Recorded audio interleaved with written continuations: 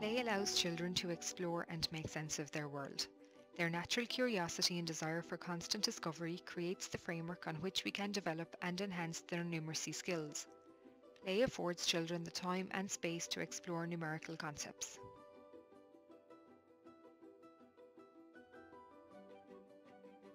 For young children, counting takes the form of gathering sticks and stones. Simple addition is seeing how much they have of everything.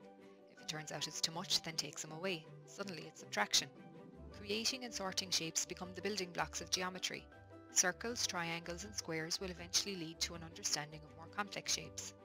The language and critical thinking skills developing and emerging in tandem in young children supports their ability to problem solve. Problem solving in turn underpins numerical and mathematical concepts. In doing all of this, children are most importantly making connections. 13, 13, 14, 15, 16, 17, well done, 18, 19, 20.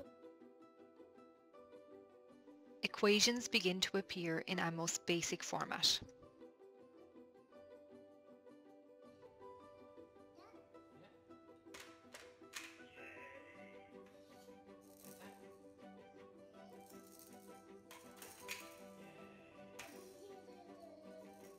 Children begin to recognise the importance of sequence, size, numbers and the value that is placed on them.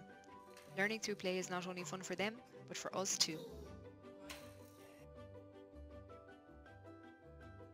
Using simple language and basic instructions will help children make connections.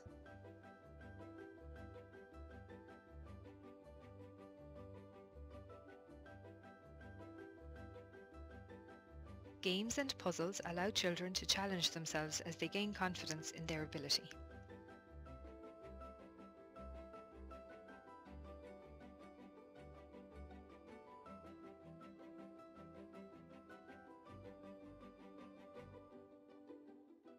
So many concepts can be explored through water play.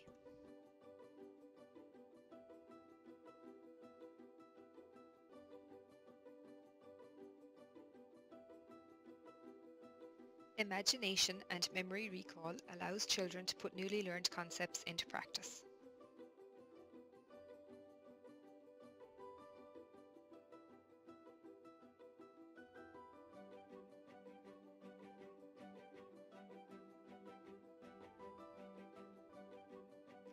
During play, children rely heavily on their senses. Numerical concepts become realities, where 3D shapes can become a hideaway in the garden.